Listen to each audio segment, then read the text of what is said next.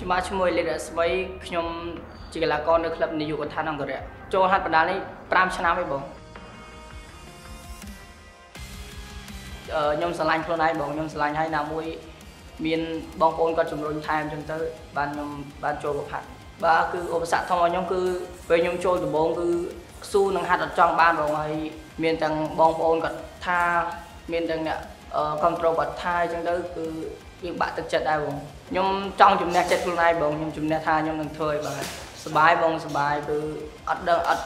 ដឹងខ្លួនថាខ្ញុំអាចស៊ូបានដល់ថ្ងៃនេះបាទខ្ញុំនឹងបដិញ្ញាថាខ្ញុំនឹងខំប្រឹងឲ្យអស់ពីសមត្ថភាពនឹងយកជ័យជំនះនៅថ្ងៃទី25នេះបាទខ្ញុំសូមឲ្យបងប្អូនទាំងអស់គ្នាជួយគ្រប់គ្រងនៅវិស័យកីឡាគុនខ្មែរទាំងអស់គ្នាដូចជាកម្មវិធីគុនខ្មែរអស្តានេះទាំងអស់គ្នាបានឲ្យបានមានវគ្គបន្តបន្តជារៀងរហូតបាទ